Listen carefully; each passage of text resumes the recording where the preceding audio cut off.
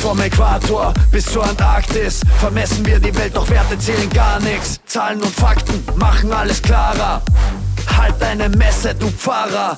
Vom Äquator bis zur Antarktis vermessen wir die Welt, doch Werte zählen gar nichts. Wollen immer mehr, messen uns selbst, das sind die Fakten. Vermessung der Welt.